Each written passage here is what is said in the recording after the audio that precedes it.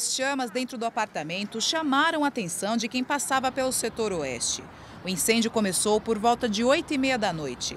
Dez viaturas do Corpo de Bombeiros foram acionadas. Em alguns minutos as viaturas já estavam no local.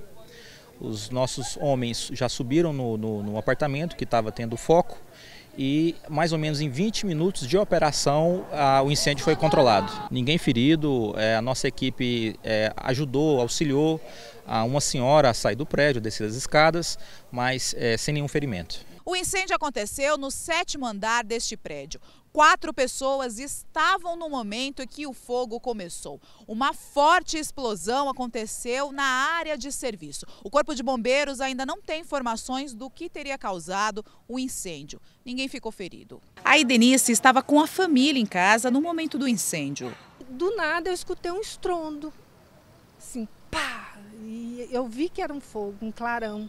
E eu já saí correndo para ver, descalça, do jeito que eu estava. E de lá eu já gritei que era fogo. Fogo é fogo. E aí todo mundo veio né, da, da casa. E eu tentei pegar o extintor. Mas a minha cunhada, não, não, vamos descer que a gente pede socorro. Ela ainda não sabe o tamanho do prejuízo, mas o susto foi grande. É um prejuízo grande, eu acho, né? Porque a gente não tem bem noção do que estragou, porque tinha duas máquinas de lavar, tinha dois frios, duas geladeiras e mais outras coisas lá, né, que, que de uso diário.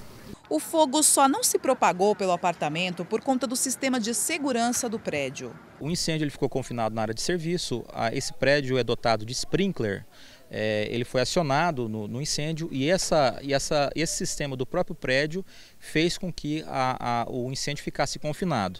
Daí a importância de que todas as edificações elas tenham os sistemas preventivos é, instalados conforme a legislação. É, nós fazemos as historias né, no dia a dia e isso influencia justamente na segurança das edificações. Outro incêndio aconteceu durante a noite em Goiânia. A vegetação do Parque Macambira Nincuns, no setor Três Marias, foi atingida pelas altas chamas. Cadê os bombeiros? Tanto em fogo em mata quanto em um incêndio doméstico, o importante é manter a calma e acionar o corpo de bombeiros. Manter a calma, sair é, com certa rapidez, mas sem desespero.